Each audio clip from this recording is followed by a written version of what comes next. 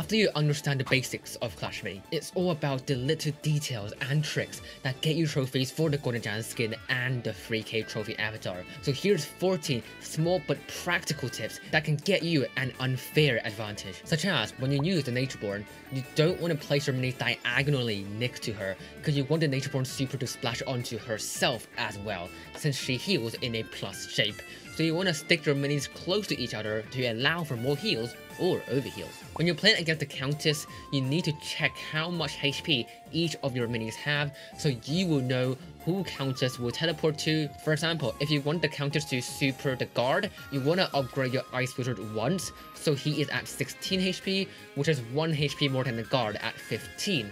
This way, you can ensure that the Countess doesn't go to the most important minis early in the game. But this is nothing compared to the tricks at the end that are just game changing. But first, if your enemy plays a Spirit Goblin or a Prince, a Lumberjack is actually a great mini to block it because not only can a Lumberjack tank damage, but because Lumberjack is so squishy, you can actually activate his KO ability. So that's basically a free Lumberjack third star ability to nearby allies. Warden and Guard is a great combo, because guess what?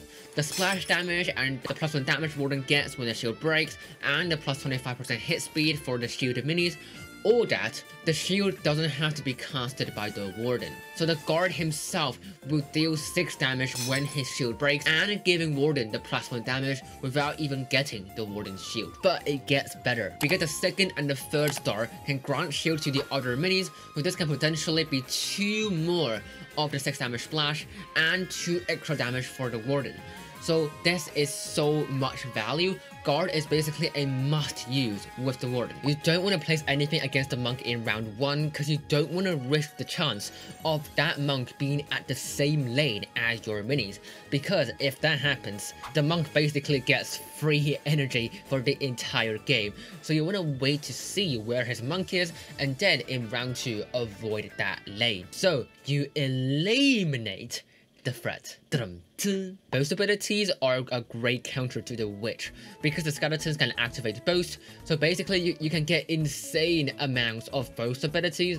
For example, the Valkyrie and the Rogue goes with the heals, Swordsman gets a free super, and Dark Goblin gets extra damage. You can bait the enemy Wave Master super by putting a mini in the back corner. That way, you can protect your ranged carry mini because the Wave Master will super to the corner instead. Barb King and Archer is a great combo. The Archer can benefit a lot from the Barb King super, especially since the Archer can also get an attack speed buff with the third star, and that can stack to insane amounts. The same can be applied to the Natureborn Deer, but that can just be a bit trickier to pull off, but it's definitely possible. Here's a pretty reliable way of triggering the counter's backstab. Place the tank in the front at one side and the counters at the back in the other side.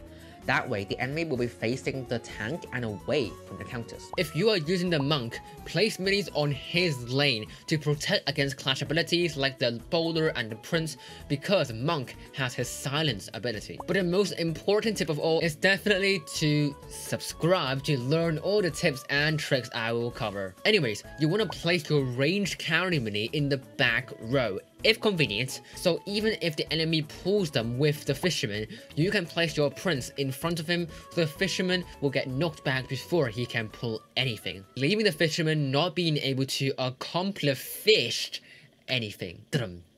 When you're using the archer, hold down on her to see who her furthest target within range is, so you can make sure that she will shoot the enemy mini that you want. This is especially important since she doesn't have infinite range, so where you place her will affect which mini she will target. But if you're looking to learn how to play specifically the Warden, this video goes way more in depth, giving you everything you need to master him.